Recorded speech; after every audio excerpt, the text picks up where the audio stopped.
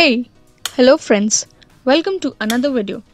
In this video, I'll let you know about the internet and manual control home automation system using Blynk IoT platform. You can control your home appliances over internet from your phone as well as know the status of your appliances in on and off condition. That is, you will be able to know the real-time status of your appliances and also control it. Internet controlled home automation along with manual control as well as real-time feedback of the switches. You can control the appliances with internet and also with your regular manual switches so let's get started. This video is sponsored by JLC PCB, a PCB manufacturing company with low prices of only $2 for 5 PCBs and more. JLCPCB.com invites you to take part in the online e-exhibition for virtual communication with all JLC PCB users and 100% chance of winning gifts such as smartphones, 3D printers, cameras, gift cards and coupons. Anyone attending the show could win up to 4 prizes. So register before the exhibition starts. Check description for more information. JLC PCB wishes you good luck. For this project, we need ESP32, Hi-Link AC to DC converter, volt relay, BC547 NPN transistor, IN54007 diode, 10 kilo and 1 kilo ohm resistor, two terminal connectors, female header, custom designed PCB. Ordering PCB from JLC PCB is very easy. Just upload your Gerber file JLC PCB automatically recognizes all the features of the PCB. Choose the PCB color and other extra features and after that click on Save to Cart and complete your order. After a few days, here are the PCB boards in the new blue box of JLC PCB.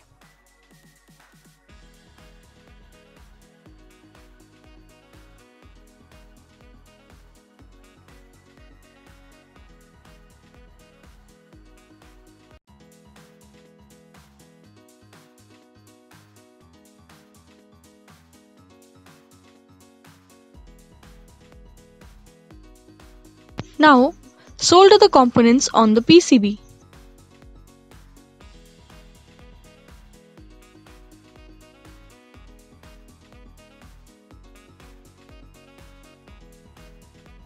After soldering the components, the PCB looks like this, neat and clean.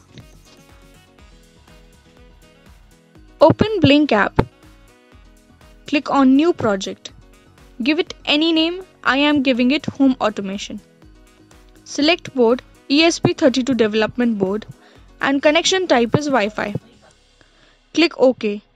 Now an authentication token will be sent to your email ID which we will require at the time of coding. After that, click here and add button. Likewise, add 3 more buttons. After that, step on button for configuration. Give it a name like relay 1 after that, select the pin as virtual. Select virtual pin V1. Change it 0 to 1 and 1 to 0 for reverse logic. Select mode as switch, that's it. Likewise, configure all the buttons.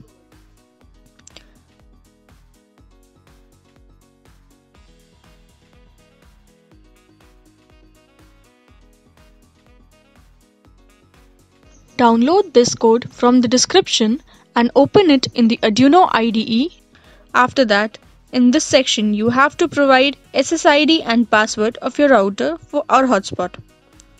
Here, you have to enter your authentication token which must be sent to your email ID. Just copy and paste it in the code. Now everything is okay.